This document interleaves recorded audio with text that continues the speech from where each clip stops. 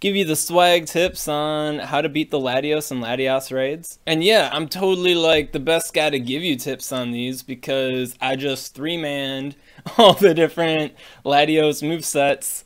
So who knows how to fight Latios but me, but Latios, slightly different. So yeah, very simple infographic. The two Lati twins, Latios and Latias, they're both dragon psychic type Pokemon. They have roughly the same stats. They just have their attack and defense inverted. So the fights are very similar and their attacks are basically the same too. The main difference between Latios and Latias is Latios, the blue one, has Solar Beam, and Latias, the red one, has Thunder. So that's it, and as far as their counters go, none of the main ones really care, except for Tyranitar versus Solar Beam. Has the catch CP ranges, the boosted catch CP ranges, the party size. They're available until May 8th, and then on May 8th, they're going to switch locations. And then on June 5th, then they're going to leave. So, and then we'll get something else. Or maybe Niantic will have some stupid event and they'll be like, hey guys, you know you fought the same raid boss for like the past two months? Well, oh, special event, Latios versus Latias. But yeah, so the best counters to these raids are going to be the three big, like the big three dragons. All right, you got Salamence, you got Dragonite, you got Rayquaza. Rayquaza is technically the best of the three, Salamence is technically the worst of the three, but they're all super good. They're all about the same in performance, especially at lower levels. And they're all like got the same thing going on. Double Dragon move set, and they're great. they're seriously great. Even against Dragon Claw, they're great. So if you got a bunch of them, you're, you're pretty much set. Against their Psychic move set, you've got Tyranitar being exceptionally tanky, but against all move sets, Tyranitar is very good. Uh, against Solar Beam Latios, uh, Tyranitar is a little bit more of a risky pick. Kind of kind of rough for the to T-Tar there, but it's still like strong enough. It does enough damage where it's still contributing better than most Pokemon.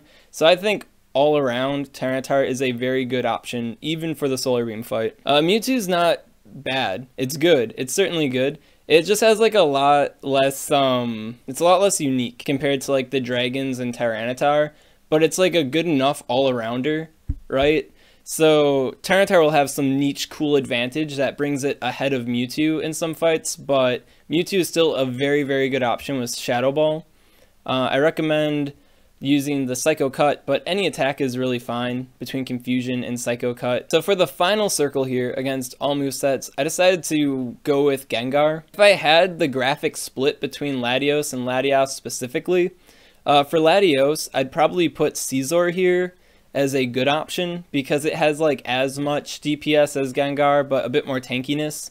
But against Latias, Gengar is a much better, in my opinion at least, uh, than Scizor overall. But for Latias, I probably would put like Groudon here as a tank option because Latias has Thunder and Groudon has Dragon Tail and because Groudon's so strong and it has at least Dragon Tail, it is still a very good option against Latias. Melding them together, Gengar definitely stood out as like the best of both worlds. But overall, uh, using the dragons is just going to be way better. And yeah, if you're worried about like your potions, your revives, you got Dragon Claw, the Outrage sets, the dragon ones that hit the dragons the hardest, then you've got uh, Gardevoir here and Granbull as being exceptionally tanky. Uh, you might remember from the call to action video and article I did on Granbull during the Doggo event, being a very nice throwaway kind of bulky option against the Lati twins if you like to save on potions and revives to like the next level.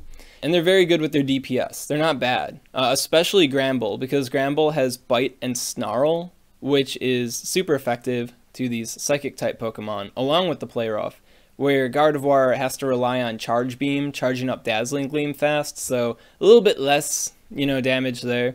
So yeah, they have their trade-offs, and yeah, they're both pretty good against the Dragon sets. And if it is cloudy outside, then their damage is increased even further, where I'd consider them to be supreme options, as worthy, if not more worthy, than the Dragons for being used against the Dragon type movesets specifically. Latios and Latias are also both excellent counters to themselves and each other. They're definitely not on the level of the other dragons though. Yeah, other good alternative options are uh, Gyarados with its dark sets and its dragon sets. Um, Mew is a good option, and I'll be getting into that in a bit on the graphs. Uh, Articuno is very okay. I'd say like Houndoom, Pinsir, Jynx, and Lugia are a little bit more like, uh, you might want to use like lower level iterations of like the face graph Pokemon before you use those. Yeah, Rayquaza, the, the main counter to the Latios, because it's the best one. Like these ones are dragon type legendaries, and that that's kind of hilarious because we only have one dragon type legendary, and that's freaking Rayquaza, right? And the Eon duo, they fly around in the skies, but you know who rules the stratosphere, and that's Rayquaza. So these are Latios counters, all movesets, level 40, all movesets averaged, no dodging. And that's something I forgot to mention before, dodging. Uh, against Latios, uh, if you're against the Solar Beam set, the Dragonites, the Salamences, and the Rayquazas can dodge those Solar Beams. And I've got some pretty good experience with Rayquaza and Dragonite dodging the Solar Beams. They're higher level than the Solar Beam does about half health from them. But if you dodge them, it like does basically nothing. I think it's like 18, 16% health. So you can dodge two Solar Beams, but after that, you most likely will faint on the next one undodged. So then you won't want to dodge that third solar beam because of the death loop glitch. You'll trigger it. It's still around. Happened to uh, Higgs apparently when we were doing our three man of solar beam. He was like, "Oh, geez, I got death looped," and I was like, "Don't say that. We gotta do the three man, man. Don't get death looped." So these are the good counters for Latios, um, graphed out. And then I also included the breakpoints for Rayquaza, Dragonite, and Salamence. Salamence actually has a breakpoint at like level 39 or 39.5. And because it's basically 40, like, I'm not gonna clutter up this graph even further with a level 39 Pokemon, right? That's insane. Uh, so I left that off. But yeah, so they're all pretty good, uh, and they all basically maintain like similar presence to each other at their lower breakpoints. So like level 36 Dragonite, basically as good as uh, maxed out Salamence, still basically better than everything else. Rayquaza at level 35.5 is still pimping. And then yeah, at lower levels too, like level 28.5 Dragonite, uh, level 30 Salamence, level 29 Rayquaza. Super good budget options. Even at these lower levels, they're still basically better than everything else. And yeah, you can see down here that Mew is doing pretty good. Like 12 DPS, that really isn't bad. Yeah, given that Mew isn't getting stab off of its hits that it's doing to them, that's actually pretty impressive for Mew. And the Latios and Latias fights are definitely Mew's like better matchups. Uh, Shadow Claw is definitely the best fast move, and Dragon Tail is like basically as good. And then comboing it with like Dazzling Gleam, Ice Beam, Blizzard. Those are going to be the better charge moves, but Dark Pulse is also fine. Same with Dragon Claw. So, yeah, Mew moveset. So if you're powering up Mew anyways and you want to use Mew, I'd say there really isn't a whole lot of reason to not use it in these fights. Also, just because Niantic mentioned Mawile as being a good counter to this fight, in the official Pokemon Go like announcement for the Lati Twins, they said use Tyranitar and Mawile. And just to give you an idea of how bad Mawile is, uh, here it is. like, worse, worse DPS than everything, worse TDO than everything. Uh, Mawile has a triple resistance to dragon type attacks and has a normal resistance to psychic and a normal resistance to grass. So it's got some resistances there, but it apparently isn't doing anything with them because it's got way worse TDO than everything. So Sucks to suck, Mawile. Uh, but I did do some research, and it turns out that Mawile, if you have 18 players with level 20 Mawiles of any move set, like I did some blended stuff, uh, that you could clear a Latios raid uh, with with all Mawiles. So that can be a thing. I checked out Shuckle. 20 players using an infinite number of level 40 Shuckles, uh, using presumably the best move set for the fight. Uh, can't do it. Even with a weather boost, they only get like a little bit more than halfway there and then they time out. But I did check level 40 Wurmples. 20 players using an infinite amount of level 40 Wurmples can do a Latios raid. Now for the Latias fight, it's basically the same. So this is the Latias that we have, which has Outrage. This is the old Latias, the projected one that we would have had if Niantic didn't intervene that has Dragon Claw. It seems that against the Outrage, Mewtwo is doing a bit worse, and that's probably because Mewtwo is going to get KO'd at a different time than it would have before, like on average, so it sets it back on average. But yeah, overall, Outrage really hasn't changed the fight too much, like on average for everything else. But uh, just want to take a little peek at that. So yeah, so Latias has Thunder.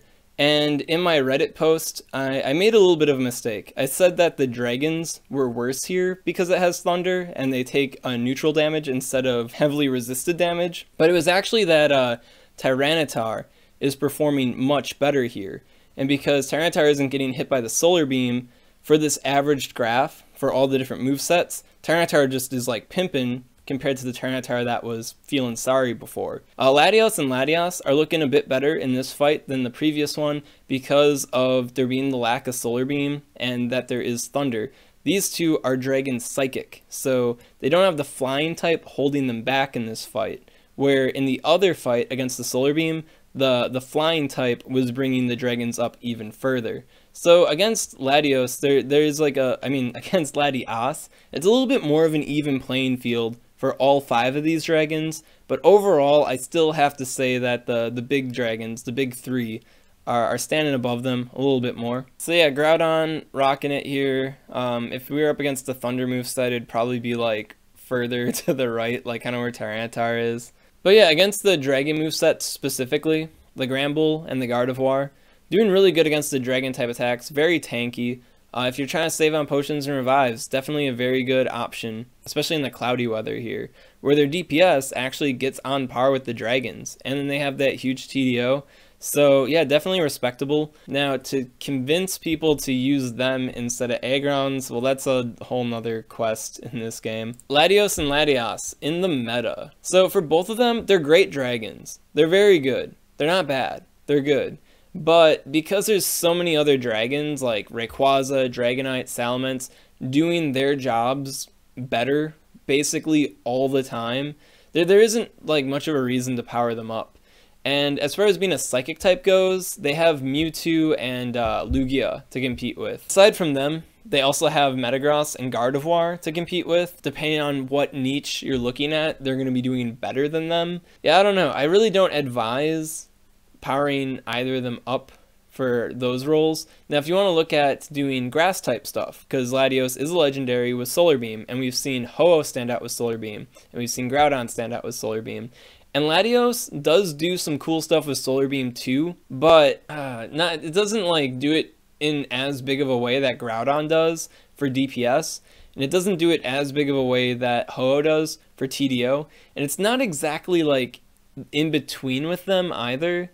It's just not that impressive with its solar beam. And then because Venusaur is now pimping with that frenzy plant, it's even harder for Latios to compete as a pseudo grass type, so I don't recommend it for that either. And then for Latias, it's got Thunder, and Thunder sucks. Between the two, I'd say Latios would be a better investment than Latias because it's got, you know, the higher attack, which in Pokemon Go is pretty much the bottom line unless you've got like crazy good resistances in bulk like Lugia and Ho-Oh do. But Latios does have a cool niche advantage, right? That I actually talked about ages ago when I was looking at attacker and defender rankings.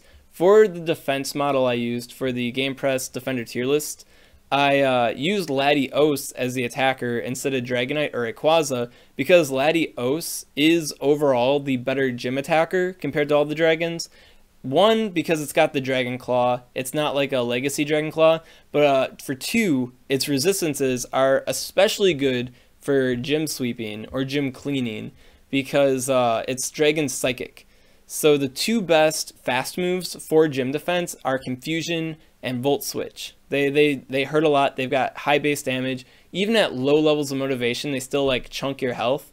Well, the other dragons take uh, neutral damage from those hits, which means that it still hurts them a bit.